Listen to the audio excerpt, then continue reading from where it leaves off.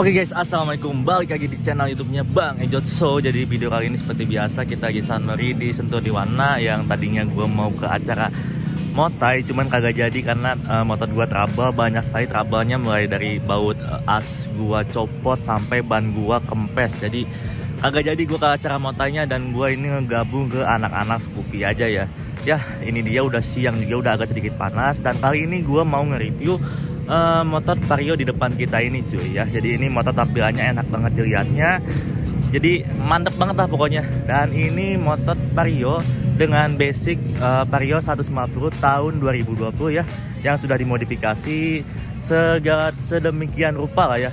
Dan di sini bisa kalian lihat nih kita bakal bahas uh, tampilannya sampai ke mesinnya. Kita puterin dulu tampilannya kayak gimana ya.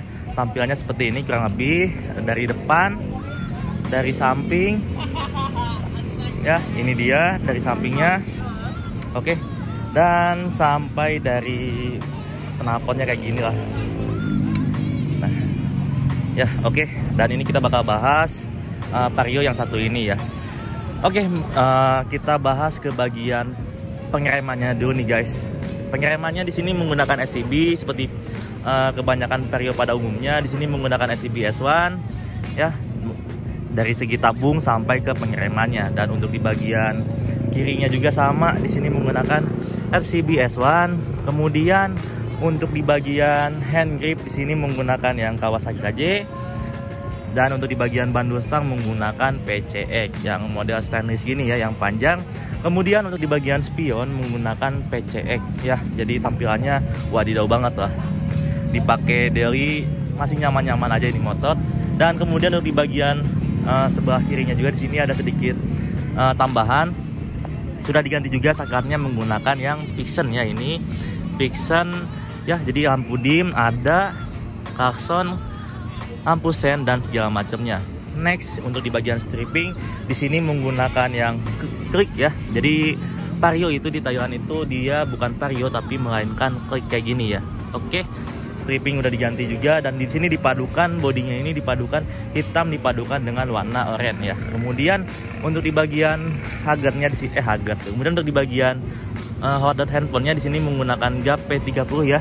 Jadi uh, buat touring-touring manja masih enak-enak aja gitu cuy buat nyimpen-nyimpen HP oke? Okay? dan next kita lanjut ke bagian bawah nih. Ini bagian bawahnya agak sedikit spesial karena di sini menggunakan pelek dari King Speed. Warna oranye gini cuy. Ini mantep banget sih cuy ya. Keren banget habis lah. Karena ini pelek King Speed ini untuk uh, harga sekarangnya itu lumayan menguras dompet ya. Jadi pelek King Speednya seperti ini. Kemudian untuk di bagian ban menggunakan Pirelli ya. Mantap. Ukuran 90 pada 80 uh, soft kompon ya. Jadi buat miring-miring itu masih enak-enak aja ya tampilannya seperti ini untuk di bagian depan. Kemudian untuk di bagian pengereman nih pengereman agak sedikit padat juga di bagian sebelah kirinya. Untuk di bagian dis nih ini dis menggunakan KTC ukuran 260 ya tampilannya seperti ini. Dan untuk di bagian kalipernya menggunakan Nissin Samurai warna hitam. Dan dipadukan dengan bracket uh, variasi juga ini ya ke atas. Dipadukan dengan sang rem dari TDR kalau nggak salah ini ya dan dipadukan juga baut-baut masih standaran dan beberapa di sini baut menggunakan yang stainless di bagian disnya. Oke tampilannya kurang lebih seperti ini karena ini motor dipakai harian agak sedikit tekil juga guys ya wajar lah. Dan kemudian untuk di bagian karpet injakannya menggunakan yang modelan mie kayak gini ya. Gokil sih, mantap pokoknya. Kemudian kita lanjut ke bagian atas lagi. Atas di sini menggunakan sarung jok dari MB Tech ya. Ini MB Tech uh, enak banget buat dipakai dailynya karena nggak licin ya dan di sini juga ada variasinya solatip pos anjay keren habis. Ini kayaknya sobek sih. Ya supaya nggak kempes ke dalam juga misalkan hujan ini. Kemudian next di bagian sok. Di sini sok menggunakan sok dari ISS ya. Uh, tampilannya pas banget ISS ini. Mantep lah pokoknya ini ISS ya Nah, untuk di bagian bawah-bawahannya ini menggunakan uh, standar 1 dan 2 sudah di chrome juga, mantap banget pokoknya. Kemudian untuk di bagian belakang sama ban masih menggunakan ban Pirelli ukuran 90 per 80. Kemudian dipadukan dengan truk dari King Speed ya. Dan tampilannya mantap banget pokoknya ini.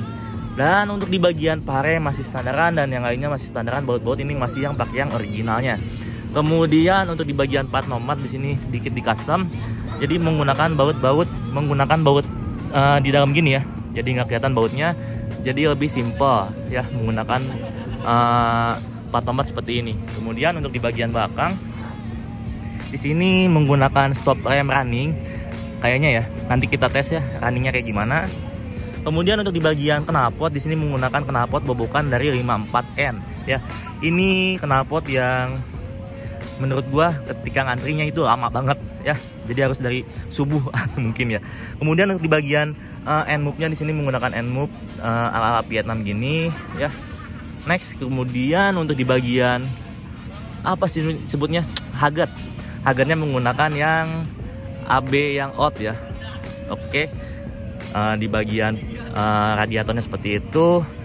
Kemudian kita bahas ke bagian spek mesinnya spek mesin di sini spek mesinnya itu 61 ya pistonnya 61 noken as nokennya asnya itu BT cuman tipenya itu uh, bisa tanyakan aja ke yang punyanya. Nanti gue bakal cantumin instagramnya di deskripsi video.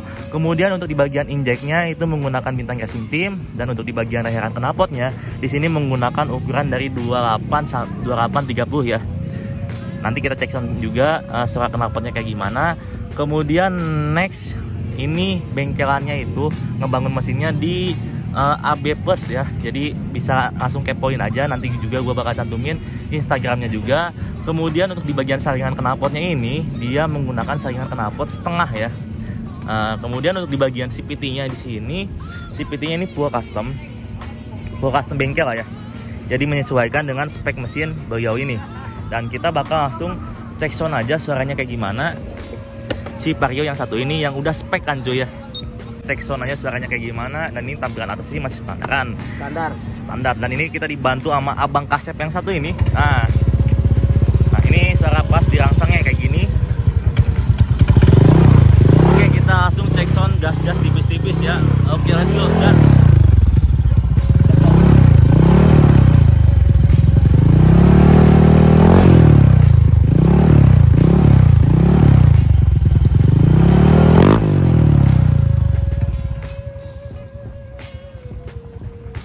Oke okay, dan ini untuk uh, tampil untuk uh, suara knalpotnya seperti itu ya kurang lebih. Kemudian untuk di bagian runningnya nih, runningnya seperti ini ya tampilannya, cakep pokoknya. Oke okay, untuk di bagian depan kita cek sound nih. Bagian depan di sini lampunya sudah diganti juga ya. Jadi di bagian lampunya di sini menggunakan bilet WST 3 inch kiri kanan ya cakep banget. Oke. Okay uh, mungkin kurang lebih seperti itu karena ini juga review dadakan aja uh, pasan mereka ini karena kita nggak jadi ke acara motai kita gabung-gabung aja ke anak-anak Scoopy oke? Okay? ya jadi mungkin segitu aja untuk review kali ini. Uh, kurang lebihnya mohon maaf misalkan ada yang tanyakan bisa langsung tanyakan ke ordernya aja langsung. Nanti gue bakal taruh instagramnya di deskripsi video. Oke okay, mungkin segitu aja video kali ini. Thanks for watching video and see you next video. Gue Reja cabut. Peace and bye